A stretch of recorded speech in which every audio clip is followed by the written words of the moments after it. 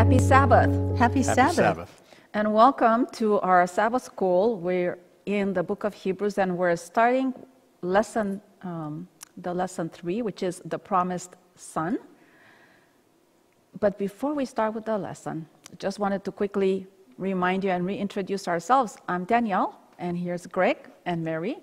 And we're happy to be together with you and uh, those that are with us presently and those that could be with us online so we can study together and get deep into the Word of God. Greg, would you mind opening with prayer for us? It would be my pleasure. Let's bow our heads.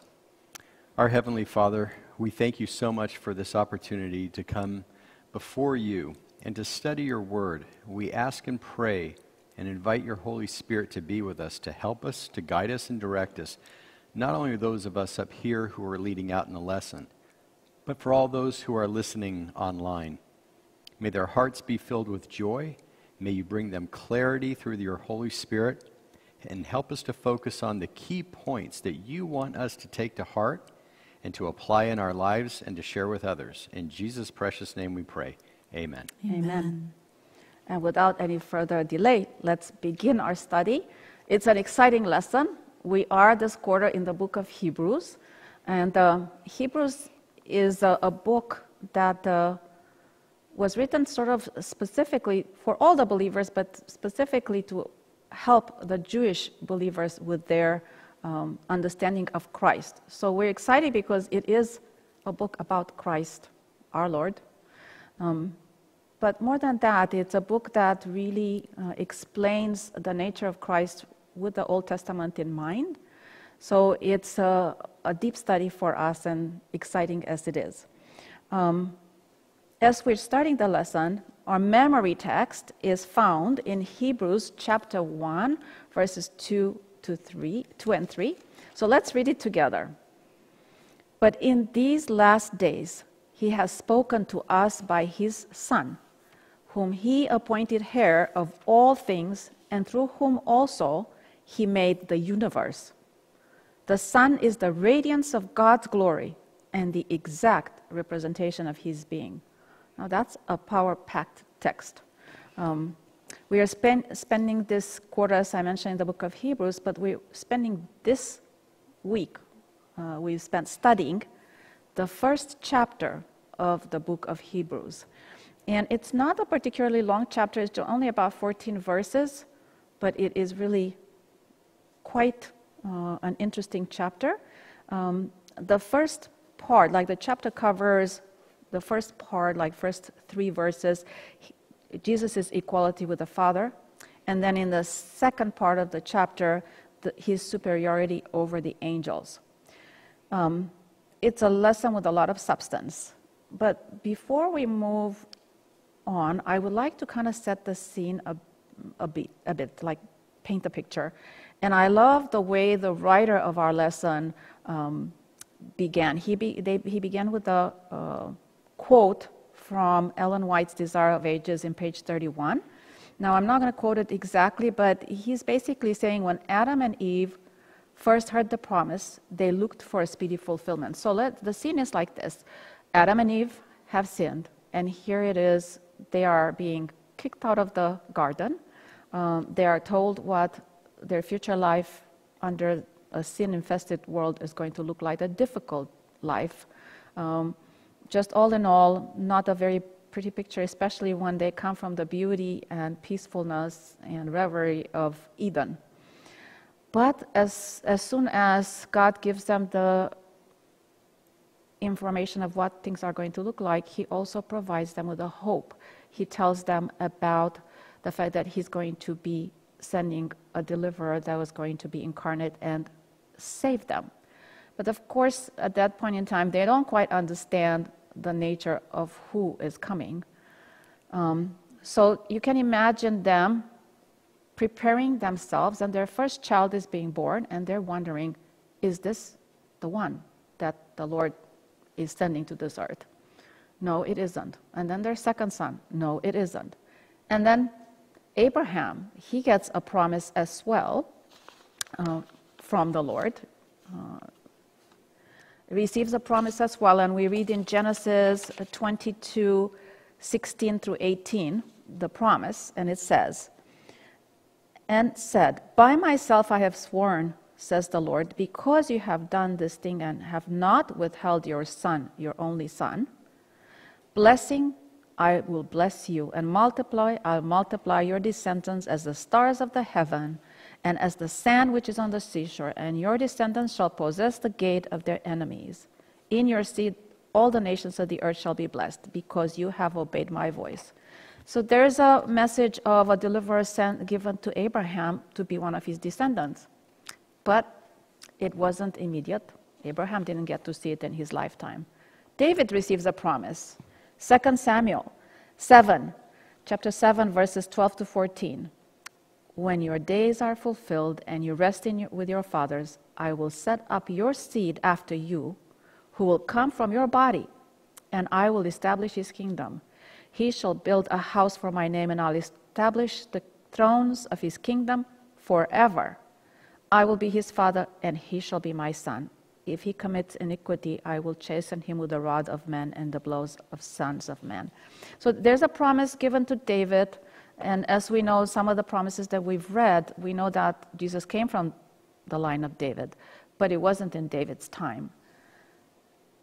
Well, God delivered on his promise in a mighty way, in a way that Adam, Eve, Abraham, and David couldn't imagine. They couldn't ever imagine that the Redeemer coming into the world would be God Himself.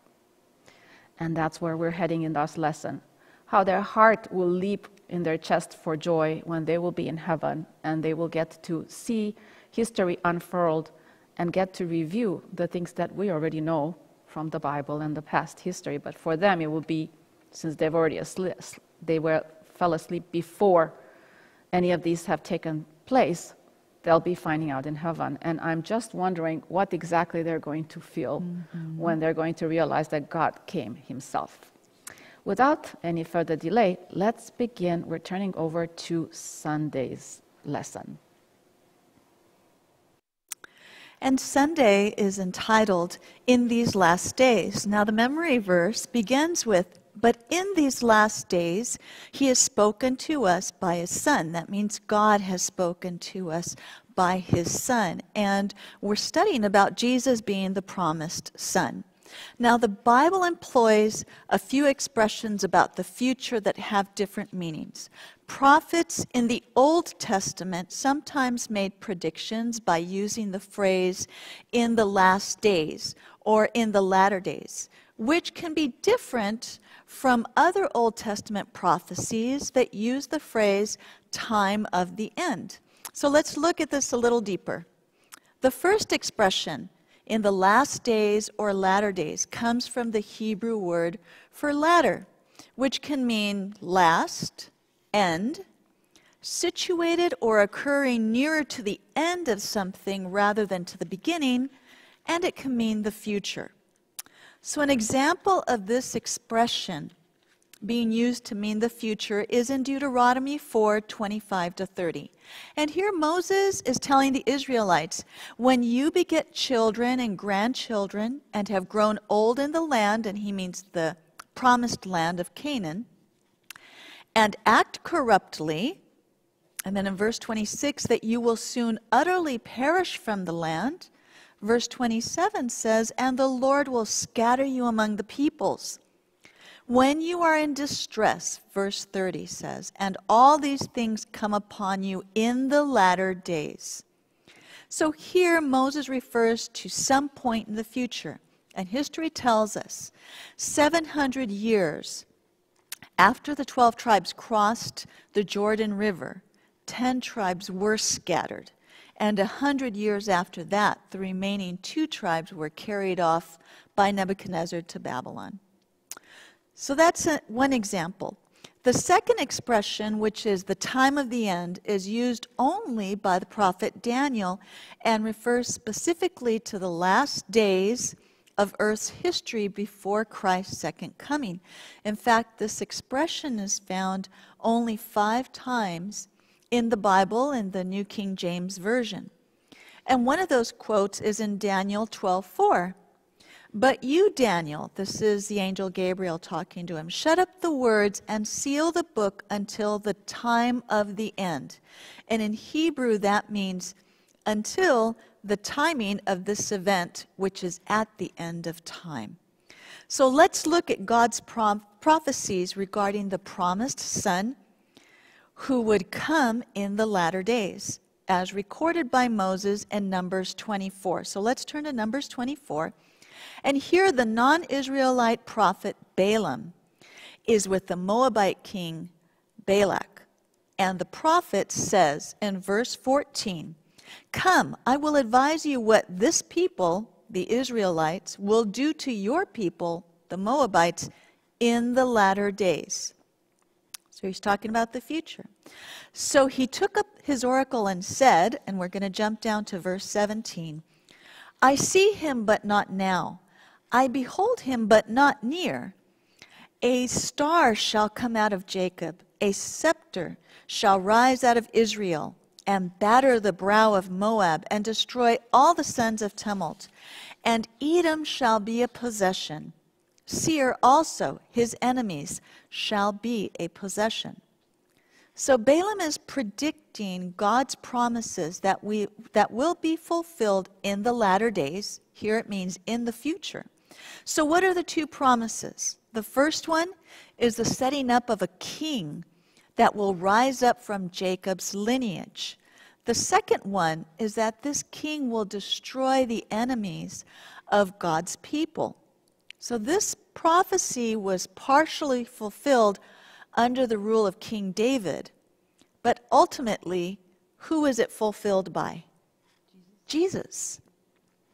So, was Jesus' kingdom established at his first coming?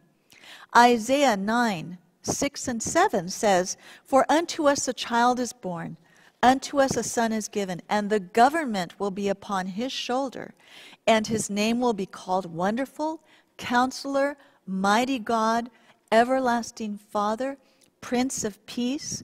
Of the increase of his kingdom and peace, there will be no end upon the throne of David and over his kingdom to order it and establish it with judgment and justice from that time forward, even forever. The zeal of the Lord of hosts will perform this. So there we're reading Jesus' kingdom was going to be established at his first coming. And the second promise has Jesus defeated Satan, the enemy? Colossians 2:15 says, "Having disarmed principalities and powers, he made a public spectacle of them, triumphing over them in it." Praise God. So we clearly see that Jesus fulfilled both of these promises.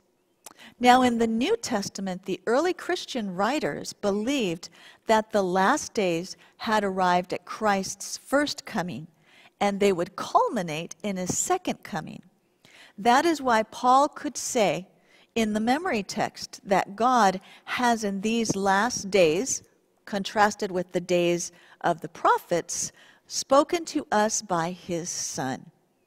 And the Greek word here means farthest days, the final of place or time. So, similarly, when Peter and the other disciples are accused of being drunk at Pentecost, Peter claims that the miracle of speaking in tongues is a fulfillment of prophecy. In Acts 2:17 he says, "And it shall come to pass in the last days, says God, that I will pour out my spirit on all flesh. Your sons and your daughters shall prophesy." This is a prophecy from Joel chapter 2, and it came to pass at the beginning of the last days. Also, when talking about Christ's incarnation, Peter wrote in 1 Peter verse, uh, chapter 1, verse 20, but Christ was manifest in these last times for you. So these last days are characterized also by scoffers who question the second coming of Christ. That's found in 2 Peter 3. The exploiting of the poor for the sake of enriching the wealthy, That's in James 5 3. And the last days also are characterized by the appearance of Antichrist. And we see that in 1 John chapter 2. So, in summary, we can say that the last days or latter days arrived when Jesus, the promised Son, was born. We've been in the latter days since year 1 AD. And as Seventh day Adventists, we understand we're also in the time of the end because Daniel's book was unsealed during the proclamation of the first angel's message in the 1840s. Therefore, as Christ fulfilled the promise of his first coming in the latter days, we can rest assured of his second coming at the time of the end. With that, I will hand it over to Daniel. And, and then I'll pass it back to Monday. right, I'll take it from, from both of you then. Good morning again, and happy Sabbath. Uh, Monday's lesson is titled, God Has Spoken to Us by His Son. So let's begin by opening our Bibles to the book of Hebrews. And again, you're going to hear uh, each of us read, maybe overlap a little bit. And that's a good thing because it helps to cement what it is that God wants us to take away from His Word. So if we open to Hebrews chapter 1, verses 1 through 4, we'll read God, who at various times and in various ways spoke in time past to the fathers by the prophets, has in these last days spoken to us by His Son, whom He has appointed heir of all things, through whom also He made the worlds who, being the brightness of his glory and the express image of his person, and upholding all things by the word of his power, when he had by himself purged our sins, sat down at the right hand of the majesty on high, having become so much better than the angels, as he has by inheritance obtained a more excellent name than they. So, in the original Greek, this is written as one sentence. And it's been argued that it's perhaps one of the most beautiful in the New Testament, in that its main assertion is that God has spoken through his Son, Jesus Christ. And keep in mind, as, um, as we know in studying the Bible, the Jews in the first century AD, the Word of God had not been heard for a long time, in that the last revelation to be expressed in the written word of God had come through the prophet Malachi and the ministries of Ezra and Nehemiah. That was 400 years before. But now, through Jesus, God was speaking to them again. And God's revelation through Jesus is even more significant. It was superior to the prior revelations made through the prophets because Jesus is the fulfillment of what all prior prophets revealed in the Old Testament. Does that mean we do away with the Old Testament? Of course not, because if you don't know the Old Testament, then you won't know and appreciate and understand how Jesus fulfilled the Old Testament prophets. So Jesus created the heaven and the earth. Did Paul always believe this? No, we know he didn't.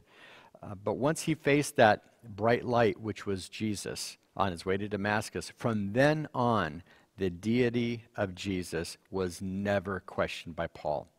Paul then understood that Jesus was the fulfillment, the long prophesied Messiah spoken of by the Old Testament prophets. However, now it's possible to understand its fuller meaning because the Son of God manifested himself by taking on our human nature. In Paul's mind, the Father's revelation through his Son Jesus provided the key to understanding the true breadth and depth of the Old Testament. And this can be somewhat analogous to a completed picture. And I like how the quarterly kind of points us at. It drew a, a, very good picture for me, which was real simple, and I like that, just simple and straightforward. A completed picture. If you look at the picture on the box of a puzzle, of a jigsaw puzzle. The picture gives a clear view, a clear picture of what all the individual pieces in the puzzle are and how they fit together so that they present a complete picture. Well, that's exactly how Jesus completes the picture of all the Old Testament prophet revelations in the Old Testament. Jesus brings light to the Old Testament. And I think that's pretty amazing. And Paul also tells us in Hebrews chapter 2 verse 10, for it was fitting for him for whom all things and by whom all are things, in bringing many sons to glory, to make the captain of our salvation perfect through sufferings. So, Jesus is the captain of our salvation. And Paul goes on to tell us in Hebrews 2, verses 17 and 18 Therefore, in all things, he had to be made like his brethren, that he might be merciful and faithful high priest in things pertaining to God to make propitiation for the sins of the people. For in that he himself has suffered being tempted, he is able to aid those who are tempted. That to me is amazing of what Jesus has done for us. Jesus fully took on our humanity, that he would be merciful and a faithful high priest to help us. And I love how Ellen White pens this so well. And if we look in volume 20 of Letters and Manuscripts, number 149, paragraph 9, she puts it all together so succinctly, and I think it's really important for us to, to read this and, and to digest this. But first, she quotes Scripture. We have a most sacred, solemn truth to bear to the world. God so loved the world that he gave his only begotten Son, that whosoever believes in him shall not perish but have everlasting life. John 3:16. And then she continues, the Lord Jesus Christ gave up his high command and clothed his divinity with humanity, that he might stand at the head of the human race to save to the uttermost all who will receive him as their Savior. We may cast not some, we may cast all our care upon him, for he has plainly shown that he cares for each and every one of us. So Jesus took on humanity to be tempted like we are tempted, and to suffer like we suffer. And in doing so, he is able to help those. He's able to help each one of us, you and me, who are tempted. And Jesus just doesn't sympathize with us, he actually empathizes with us because he was tempted in all ways, as stated in Hebrews 4:15. For we do not have a high priest who cannot sympathize with our weaknesses, but was in all points tempted as we are yet without sin. So Jesus loves us, he fights for us, he represents us against the sinful temptations and the accusations by the enemy. So remember too that Jesus and the Father and the Holy Spirit, they act in one accord. They don't act on their own. They act in one accord because why? They are one and they love us. It's that simple. What the Father did for Jesus by exalting him at his right hand on his throne, Jesus also wants to do the same thing for us to sit with him on his throne if we look at revelation 3.21 to him who overcomes i will grant to sit with me on my throne as i also overcame and sat down with my Father on his throne. So, in just wrapping this up, God's message to us through Jesus includes not only what Jesus said, but also what the Father did through him for our temporal and our eternal benefit. Because God the Father, God the Son, and the Holy Spirit, they love us. It's that simple. And this selfless, deep love that they have for us, for all creation, is evidence not only to us here, but it's also evidence to all the heavenly host about the true and eternal character of God that Lucifer or Satan tried to malign first in heaven and continues to do so here on earth today. God's true character is made manifest by his love for all humanity, fallen and sinful humanity, that despite this condition, God the Father wants to reconcile us to Him by speaking to us through His only begotten Son, our Lord and Savior Jesus Christ. What an amazing God we have. So I'll Amen. Beautiful, beautiful. You. Thank you, Mary and Greg. I mean, it was beautifully and succinctly pulled together from the scriptures and we can see i mean what did jesus do after he was resurrected he explained the truths about himself from the scriptures and that's exactly what paul is doing mm-hmm. for the jewish believers and for those of us that study the bible it makes it so much more powerful and bible strongly based Amen. so moving right along on tuesday he is the radiance of the glory of God. I was going to read again Hebrews 1, 1 through 4, but I'm not going to. I'm going to skip to exactly what Tuesday is about, which is just verse 3. So we're looking at Hebrews chapter 1, verse 3. So in the middle of this verses that we've been reading, it says, Who being the brightness of his glory and the express image of his person and we're talking about Jesus being the brightness of his glory, or in other uh, translations, the radiance of the glory of God. So we're going to have to unpack this one little verse has so much information in it that's going to take us a whole uh, a whole day of, of, of, study. So let's begin. The first part, um, and what we're going to do is we're going to break down the words. First of all, the first word that pops out to us is the word being. In Greek, uh, said on, an expression denoted eternal, timeless existence.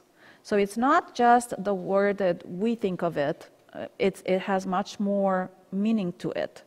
And it's similarly used in Revelation chapter 1, verse 4. So let's see how it's used in Revelation chapter 1, verse 4.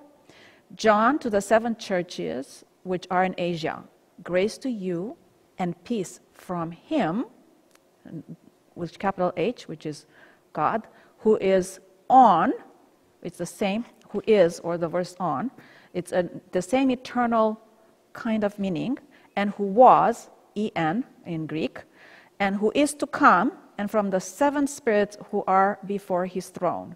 So it's another point where it's describing uh, Christ, because we know that it's talking about Christ in Revelation, it's the revelation of Jesus Christ. And it's talking about him enthroned, and he is as an eternal being, and he was, and he is going to be.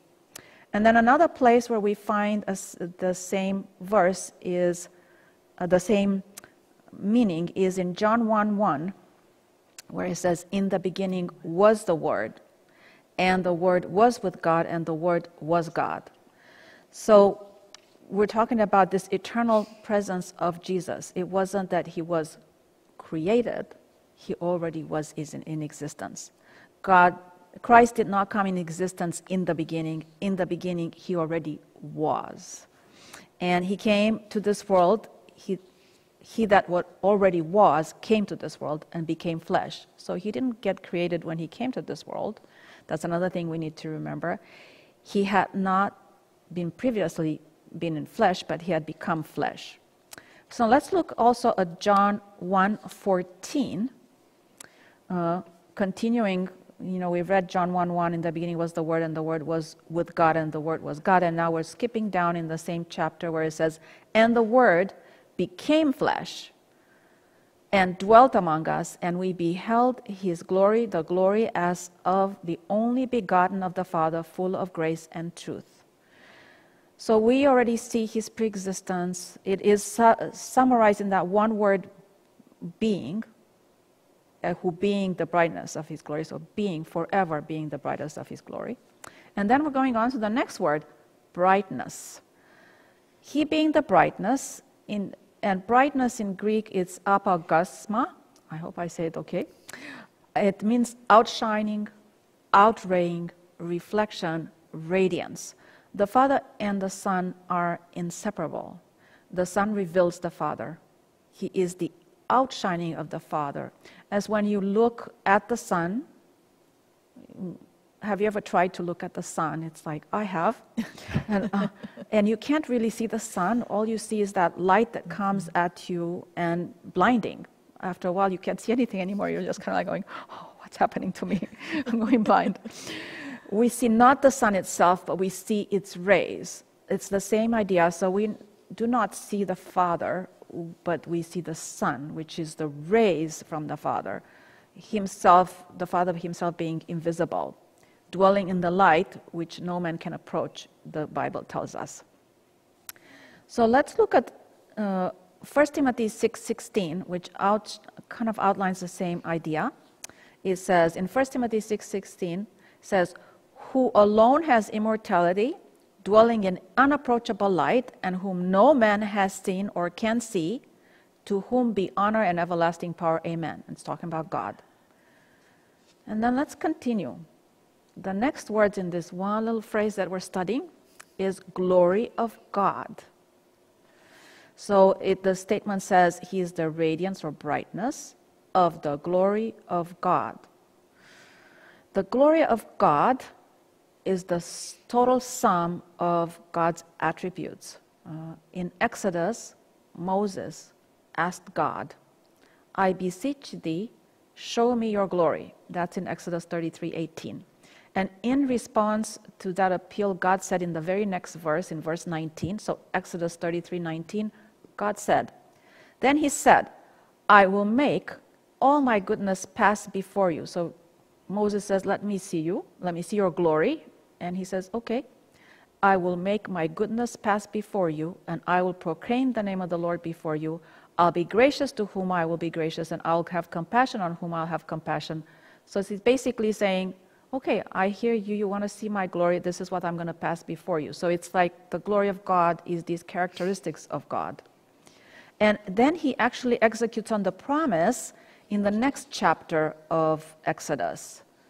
So, in review, Moses said, Let me see your glory. God said, I'm going to pass these characteristics of mine before you so you can see my glory. And then he executes in chapter 34, verses 5 to 7, and it says, Now the Lord descended in the cloud and stood with him there and proclaimed the name of the Lord. And the Lord passed before him and proclaimed, the Lord, the Lord God, merciful and gracious, long suffering, and abounding in goodness and truth, keeping mercy for thousands, forgiving iniquity and transgression and sin, by no means clearing the guilty, visiting the iniquity of the fathers upon the children and the children's children to the third and fourth generation.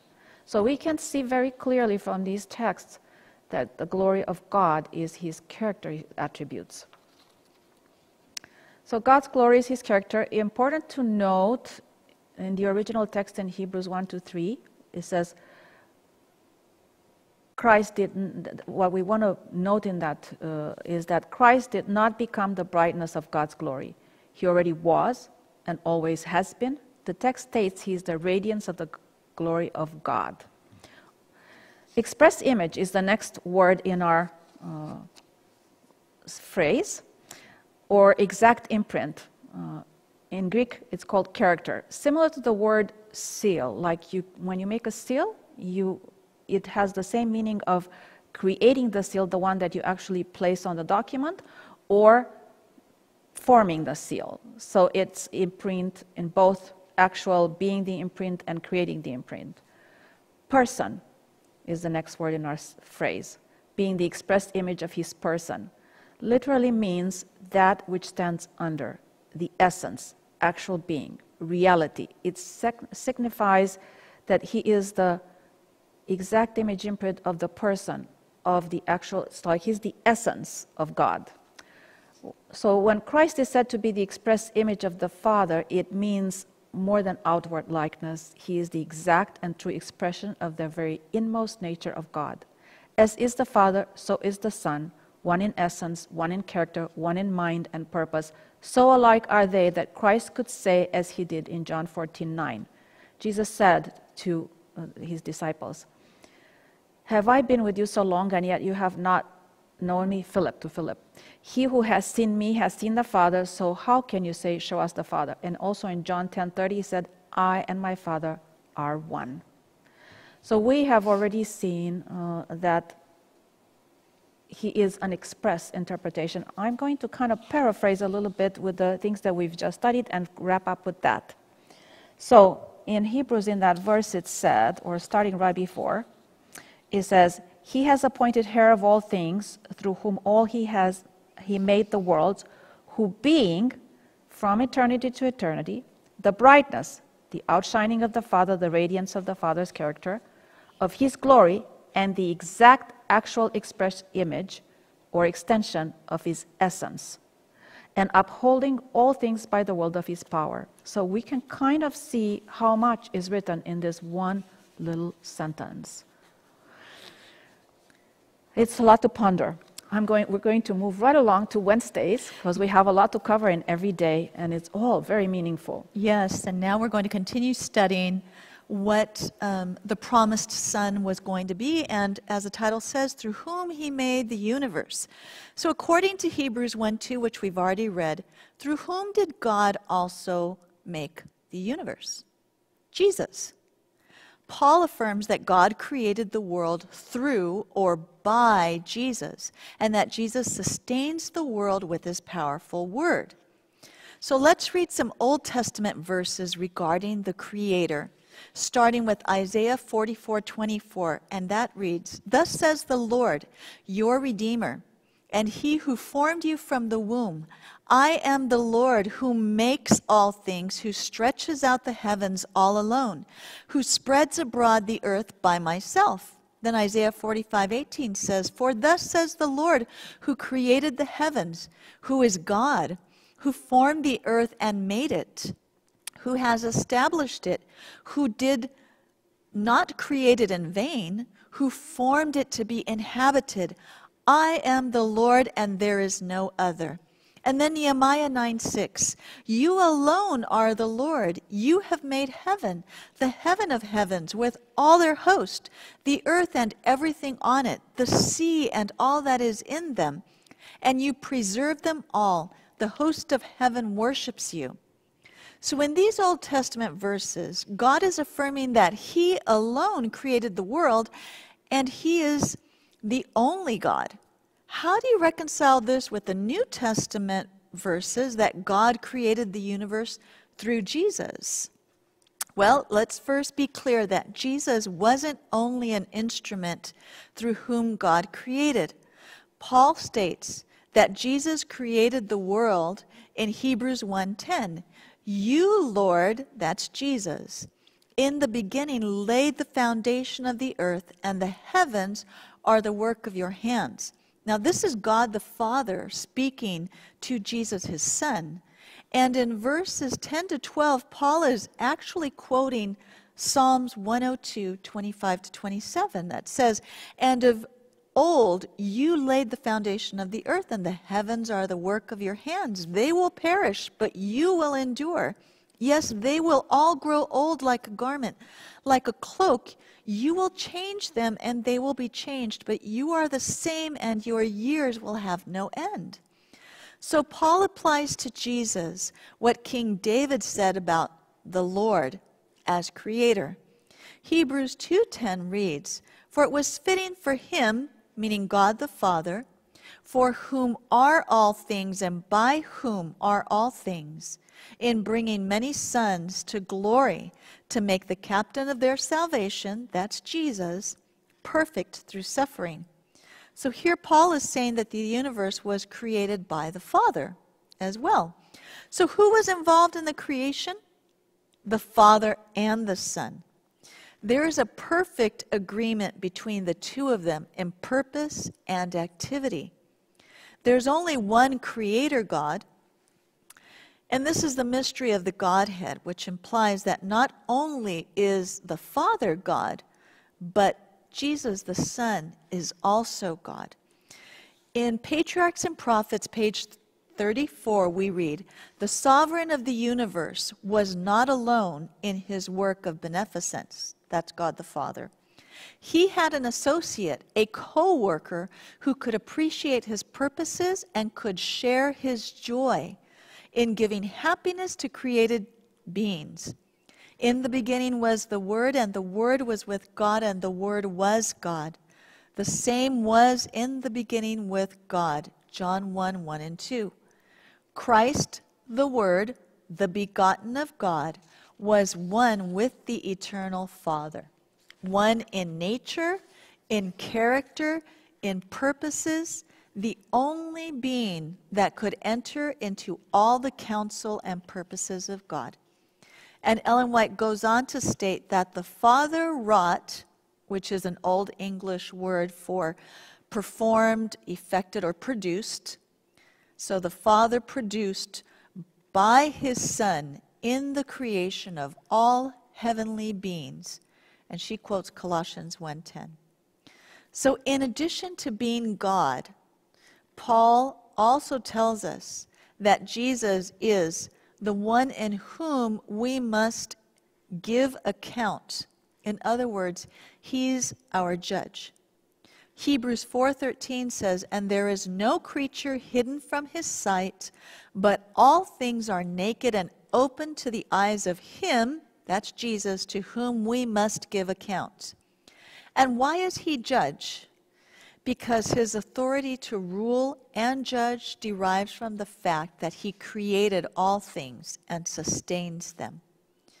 Paul also reiterates that Jesus sustains the universe in Hebrews 1 3, and it was read earlier too, and upholding all things by the word of his power. And in Colossians 1:17 it says, "And in him all things consist." So in summary, Every breath, every heartbeat, and every moment of our existence is found in Him, Jesus, the foundation of all created existence. As Paul said to the Athenians in Acts 17:28, "For in him we live and move and have our being." And with that, I'll Amen. hand it over to Awesome. Greg. Thank you. Well, thank you. You did such a great job in coming under time for your day. Can I borrow from your surplus? Because we're going to need it. We have quite a bit of scripture to go through, and I'm going to do my very, very best to get through it because um, Thursday's lesson was really significant and important for me, especially years ago as I thought about what the lesson is about. Thursday's lesson is entitled, Today I Have Begotten You. So, again, let's take a look at our Bibles. Let's open up to Hebrews chapter 1, verse 5 this time. We've read 1 through 4 a couple times now, but verse 5, this is just a continuation that Paul is talking about. And so Paul is saying, he's saying to, to the Jews, for to which of the angels did he, God, ever say, You are my son, today I have begotten you? And again, I will be to him a father, and he shall be to me a son. So you are my son, today I have begotten you. So, begotten in the Greek is the word geneo. And geneo, depending on the context, can mean anything from born to kindred to offspring, stock, tribe, or nation. And it can also mean of the same nature, appointed, delivered, caused to arise, to bring forth. And in the Greek, if we look at John 3:16, the word begotten is mon-. So you always think of monogamous, but monogenous, meaning single of its kind. So was God saying that at some time in the long distant past that he created Jesus? Well, no, that's not what the context says in Scripture. The context of what is stated is God simply is saying to us that Jesus is the only one, the appointed one, the expressed image of himself, which we have already covered, the same nature. Jesus is not an angel.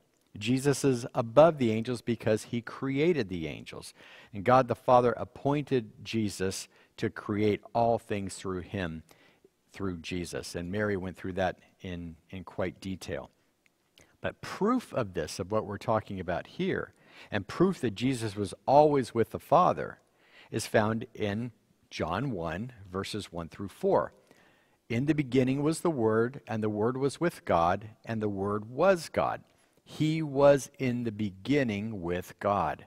All things were made through him, and without him nothing was made that was made. In him was life, and the life was the light of men.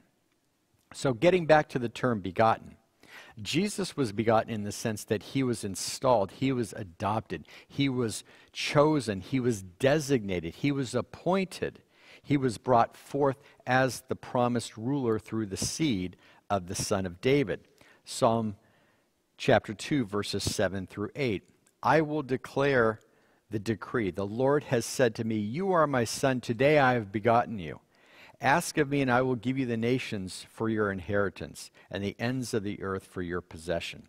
And then again in 2 Samuel 2, I'm sorry, 2 Samuel chapter 7, verses 12 through 14. We read this earlier, but let's read this again because, again, it has a dual purpose, and we covered it, but we go through so much information. If we repeat, it sometimes helps to cement um, the, the principal concepts that are being conveyed here. So 2 Samuel chapter 7, 12 through 14. When your days are fulfilled and you rest with your father. So who who is who's talking here? Is God talking to Jesus? Is he talking to David? Is he talking who is he talking to? Who is he referring to? When your days are fulfilled and you rest with your fathers, he's talking about he's talking to David that when his days are fulfilled and he rests with his fathers, I will set up your seed after you. So he's talking about Solomon, who will come from your body, and I will establish his kingdom. He shall build a house for my name. Because remember, David didn't build the temple for God, Solomon did. And I will establish the throne of his kingdom forever. Did Solomon's kingdom last forever? Not directly. But prophetically, it's talking about Jesus being the ultimate fulfillment of this prophecy. I will be his father, and he shall be my son. And he goes on to continue, and we know that he's talking to David here. If he commits iniquity, I will chasten him with the rod of men and with the blows of the sons of men. So again, he's talking to David, but he's also talking about the fulfillment of Jesus Christ here. And the fulfillment, we look at Luke chapter 1, verses 31 through 33. And behold, you and behold, you will conceive in your womb and bring forth a son, and he shall call his name Jesus. He will be great, and he will be called Son of the Highest. And the Lord God will give him the throne of his father David. So he, that's proof that he's coming from the seed of David. And he will reign over the house of Jacob forever, and his kingdom there will be no end. So God fulfilled his promise to David that through his seed, God's son, Jesus, would be adopted, he would be appointed, he would be established as his own son, and his throne over the nations would be established forever. So the covenant is fulfilled in that Jesus is the Messiah, the only begotten Son of God. Jesus is the only begotten, again, meaning of the same nature that he is the appointed one, the designated one, to fulfill God's plan of salvation. And Mary, I believe, had read earlier in Isaiah 9 6, or was it Danielle? That, um, let me read that. For unto us a child is born, unto us a son is given, and the government will be upon his shoulder, and his name will be called Wonderful, Counselor, Mighty God, Everlasting Father, Prince of Peace. He is Emmanuel. He is God with us. Matthew 123. Behold, the virgin shall be with child and bear a son, and they shall call his name Emmanuel, which is translated God with us. And Paul also tells us in Hebrews 7 3 that Jesus has neither a beginning of days or end of life. And he tells us this in Hebrews 7 3 without father, without mother, without genealogy, having neither beginning of days nor end of life, but made like the Son of God, remains a priest continuously. And in Hebrews 13 8, Paul tells us Jesus Christ is the same yesterday, today, and forever. So the term begetting, begetting of Jesus refers to the appointment and the fulfillment in Jesus' prophetic role in fulfilling the covenant that was established to rule over the nations and that his kingdom would be everlasting.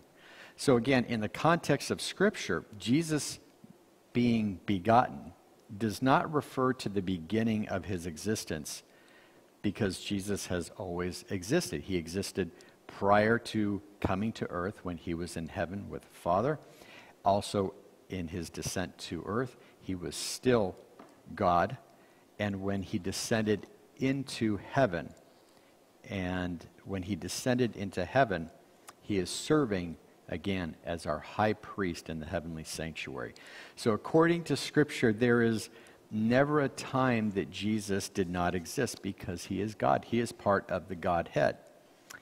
And I know this is a little challenging sometimes for our carnal minds to, to wrap around this, but we need to rely on Scripture to define itself and not to rest upon our own presumptions or assumptions. So, in just wrapping this up and in conclusion, the idea that Jesus, as God's only begotten Son, is referring, is not referring to the creation of Jesus, rather, it has to do with the appointment of his role, his responsibility, and his fulfillment. Through his incarnation, Jesus fulfilled all the covenant promises of the plan of salvation. He is the fulfillment, he is the promised one, he is the appointed one, he is the anointed one in God's plan of salvation. He is the only begotten Son of God. And so now I'll turn it back. Thank, thank you. Um, how much ground we covered yes. in one chapter. There's just so much when we're looking at Hebrews chapter 1. It is like jam packed with information. Um, so I would like to do a quick summary as we're closing. Um, by looking at this chapter 1 in its entirety, we realize that in just a short chapter, there's a lot of concepts which are necessary um, as believers to have a solid theology. A solid theology lies at the foundation of a good Christian life. Um, if we are confused about the nature of Christ, his purpose, his status, uh, and the plan of salvation, how could we stand and not be deceived as we've been mm-hmm. warned that we would be uh, there will be an attempt to deceive. There are many attempts of deceiving us. We couldn't even understand the heart of God or the incredible love that is in His heart for us if we couldn't understand that He made the ultimate sacrifice and came down as God. Jesus came down from being God and became flesh and suffered the humility that even for us to put ourselves in those steps and imagine ourselves going through the steps that Jesus went and through the sufferings that he went, it's almost inconceivable for us to do. But to think that he gave up his godly position to do that. So, the concepts, some of the concepts that are revealed in Hebrews, let's review them mm, very briefly. God is one, Father and Son are one, from eternity to eternity. Jesus is equal to the Father, Jesus existed from eternity to eternity. Jesus is the radiance of the Father and an exact and actual expression of the Father's character, of his essence, and he is upholding all things by the word of his own power. Jesus had by himself purged the sins of the world and is enthroned at the right hand of God on high. He is and always was above the angels. Jesus came to this world for the sole purpose of saving us. He came to replace us in the fight and defeat the serpent, Satan. Amen. Our inheritance has been restored at the second coming, which is our blessed hope, as the scripture calls it. We will be fully restored to what we were intended to be like if sin would have never existed. Looking forward to that. Amen. Amen. Thank you for being with us today in this incredible study that we've had, and we're looking forward to the rest of the quarter in Hebrews. But as we are uh, wishing you a happy Sabbath, we'd like to close with a word of prayer. So, Mary, would you uh, definitely say a word of prayer for us? Our Heavenly Father, we're so very grateful for this Sabbath day and for the opportunity to open this wonderful, powerful book of Hebrews. Thank you for the promised Son, and thank you for all the promises that you have fulfilled through him for us. And I pray that as we continue studying your word, our love for you and for others will deepen, and that we'll be prepared for that second coming, the blessed hope that we're looking forward to so soon.